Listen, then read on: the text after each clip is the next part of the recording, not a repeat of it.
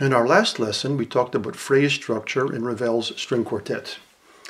Here I want to discuss another musical dimension, texture. For this analysis, we'll look at the slow movement of Debussy's string quartet. Texture is an aspect of the musical form, and it's also very important for the performers, especially in chamber music, since the texture determines the way the performers interact with each other.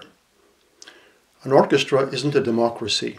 There are simply too many people and timbres for everyone to take equal part. A tuba player doesn't normally expect to play as often as the first violins. Chamber music is much more discussion between equals. Each player gets some time in the foreground. The overall feeling for the performers is that of a conversation where all take part more or less equally. The string quartet is the summit of chamber music composition. Here we have four equal virtuoso musicians participating together in an intimate musical interaction. Although the first violin tends to have the main line more often, simply because it's on top, a well-written quartet will have the other players also emerging often and in interesting ways. Also, the players will group and regroup in the texture in fluid ways, so the quartet can have anything from one to four planes of tone at a time. This kind of thinking is an essential part of writing chamber music, especially for string quartet, since the instruments are so well blended and equal in expressive potential. Let's see how this works in the Debussy. We'll look at the opening section in detail, and then we'll listen to it once our discussion is complete. The movement starts with a short phrase in the second violin. Then the cello provides arpeggiated harmony, pizzicato, in measure 2. Then the short phrase is repeated, slightly varied in the viola in measure 3. This is typical string quartet thinking.